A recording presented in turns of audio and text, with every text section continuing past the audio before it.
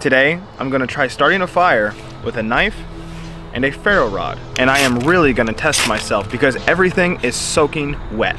The last time I came out here, it was close to zero degrees and there was a bunch of snow on the ground. The last several days, the weather has been in the upper 30s and lower 40s. And we've also had a lot of rain on those days. So right now, everything is soaking wet and the ground is absolutely saturated. So let's get on with it and see if we can make this happen. So the first thing that I need to do is try to find anything that's dry.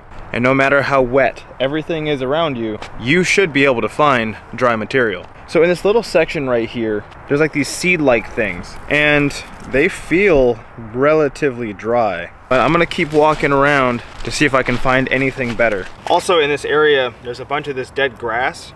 The good thing about this is it's above the ground so it's not wet. But I don't know if this is going to be good fire starting material because it does feel kind of damp but I wonder if I can go like this and make all those fibers stand out and possibly catch flame.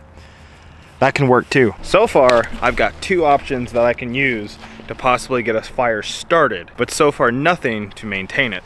Another very important thing that I need to do is find something to make a platform so I'm not trying to make a fire on top of stuff like this. I just came across something really cool. I want to show you guys, hold on. This tree that fell down, there's all kinds of different mushrooms growing on it.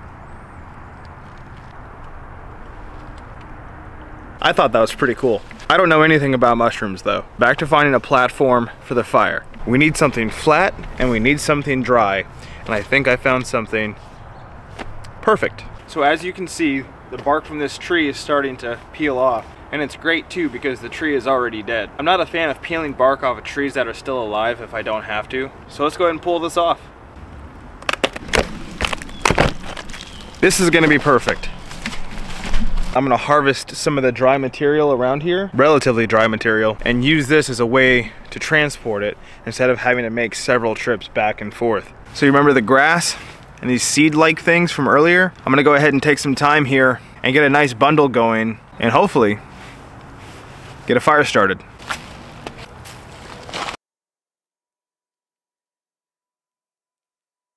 All right, two things are done. We have a platform for the fire, and we got some relatively dry material that once I rough it up some, should be able to take a spark and hopefully start a fire. Now I've got to find some dry wood. So how I'm gonna do this is I know that everything on the ground right now is gonna be too wet to use. So what I'm gonna try to do is find the dead trees and pick apart the twigs and the limbs that feel dry and use that.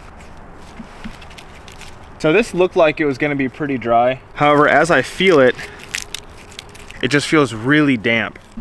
So I can't use it. That sucks because I was kind of excited.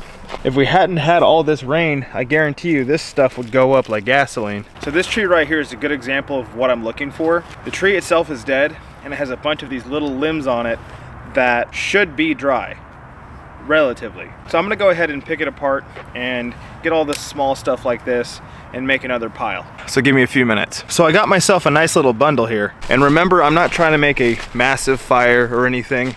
I'm merely just testing myself to see if I can get one going at all. Just set these down here. Now there is a lot of ways to find dry wood in conditions like this, especially if you have an axe, but that's not something that I'm gonna do today. Again, I just wanna see if I can get a fire started. And what I mean by that is dead stuff like this, the outside of it may be wet, but the inside of it, almost always, is nice and dry. So I wanna take this material that I found earlier and rough it up. And by doing this, it gives the spark more of an area to catch. So in honor of full transparency, I had to change things up a little bit. So this grass material, as I was starting to break it up, I noticed how unbelievably damp it was on the inside. So I can't use it. However, after some more searching around, I found some dry leaves that are super thin. And that tiny amount I gathered all around here. I was also able to collect some dry wood. Now the outside is soaking wet, but the inside is completely dry. So I'm gonna go ahead and harvest some of the dry wood on the inside. So all I'm doing is using the axe and peeling away all the wet material.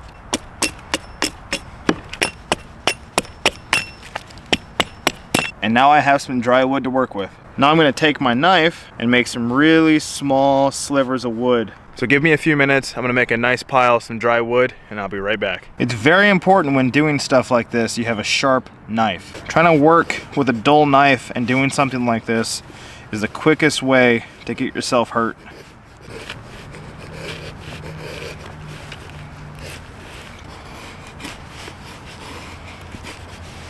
All right, so here we go.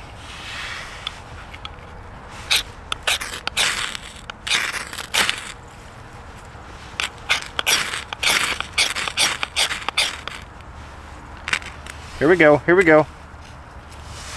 Okay, okay, let it go, let it burn.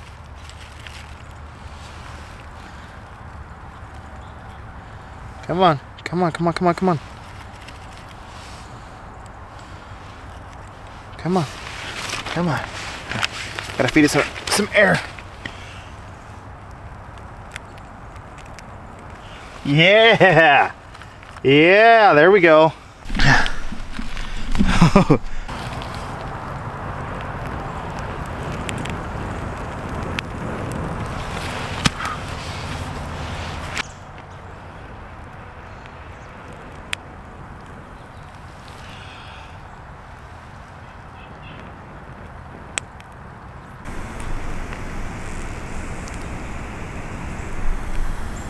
ha.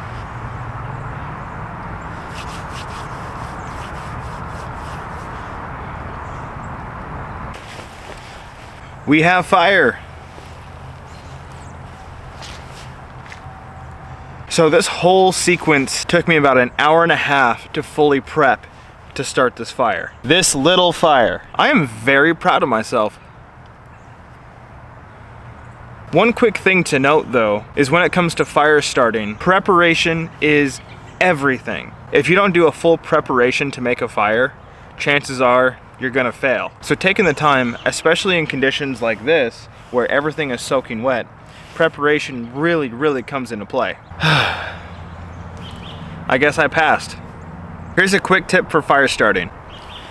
These are just everyday Fritos, but let me show you something. These have such a high oil content, they almost act like a candle, which also makes these great fire starters. Look, it's still going. The more you know. So thanks for watching, and we'll see you in the next one.